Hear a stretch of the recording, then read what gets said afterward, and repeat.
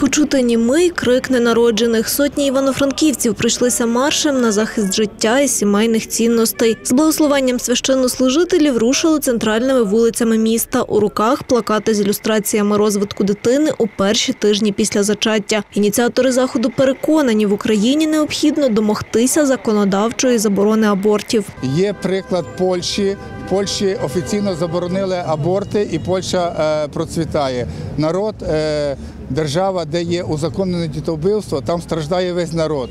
Держава, де заборонено е, аборти, там е, відповідає кожен індивідуально за, це, е, за цей гріх. З року в рік в Україні зменшується чисельність населення, кажуть учасники маршу. Тож нині усім потрібно ставати на захист життя. Адже дитина то дар Божий, і ніхто не має права вбивати її у лоні матері. Це великий благодать, якщо Бог обдаровує сім'ю, родину дітьми. Це є, я вважаю, ціль людини в житті, продовження роду. Для того нас Бог створив, це є Божий план.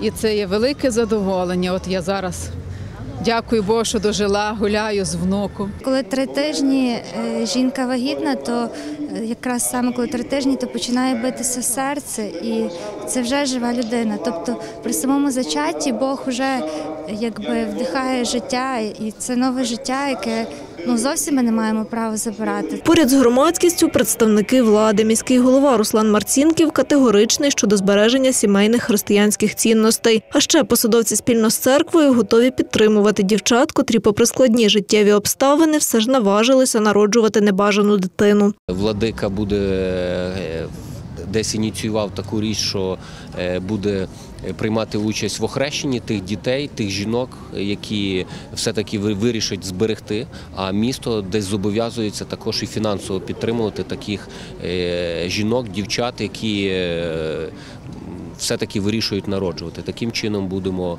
е, теж стимулювати. Тобто місто докладається і місто готове в це вкладати. Попри закиди опонентів, що законодавча заборона абортів призведе до нелегальних операцій, учасники маршу все ж впевнені, Україна повинна мати щодо даного питання принципову позицію. Ольга Рега, Сергій Попович, телеканал 402.